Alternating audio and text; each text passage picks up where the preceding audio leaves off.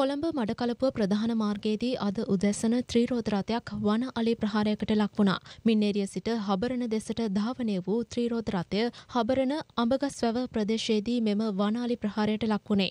කෑම සොයා වනලියා මාර්ගය අසලට පැමිණ ඇති අතර ත්‍රීරෝධ රථයේ හිමිකරු ත්‍රීරෝධ රථය මාර්ගයේ නවතා ඉදිරියට දිව ගොස් තිබෙනවා. පසුව ඔහු තම ජංගම දුරකථනයෙන් මෙම අලියා පහර දෙන අයුරු වීඩියෝ ගත කර තිබුණා. මග දෙපස සිටින වනාලින්ට ආහාර ලබා දීමෙන් වළකින ලෙස ජනතාව කෙතරම් දැනුවත් කළද විවිධ ආහාරපාන ලබා දීම නිරන්තරයෙන් සිදුවන දෙයක්. මේ හේතුවෙන් මාර්ගයේ ගමන් කරනා වාහනවලට දැඩි අසිරුතාවයකට මුහුණ දීමට සිදුවනවා. මේ අතර කැකිරාව ප්‍රාදේශීය ලේකම් කොට්ටාශයේ ගණේවල්පොළ බමුණුගම ලබුනෝරුව මාන් කඩවල ඇඹුල්ගස්වැව එකේ කනුව තිත්තරගම යන ප්‍රදේශවල ජනතාව වනාලි හේතුවෙන් දැඩි පීඩාවට ලක්ව තිබෙනවා. අවට ප්‍රදේශවල එකතුවන කැලිකසල ගණේවල්පොළ තිත්තරගම ප්‍රදේශයට ගෙනවිත් තැමීම හේතුවෙන් වනාලි කුණු ආහාරයට ගැනීම සඳහා ගම්මානවලට පැමිණෙන බවයි ගම්වාසීන් පවසන්නේ. එලෙස පැමිණි වනාලි රංචුවක් අක්කර දෙකකට වැඩි වගාවක් විනාශ කර දමා ඇති අයුරු අපට දැකගත හැකි වුණා.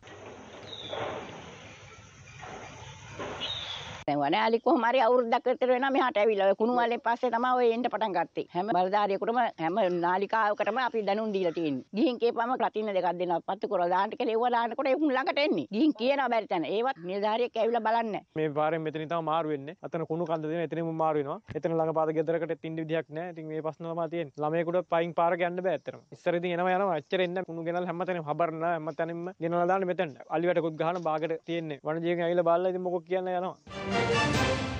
රටේ ලෝකෙ සිදුවන උණුසුම් පුවත් දැනගන්න සියත නිවස් YouTube චැනල් එක අදම සබස්ක්‍රයිබ් කරන්න.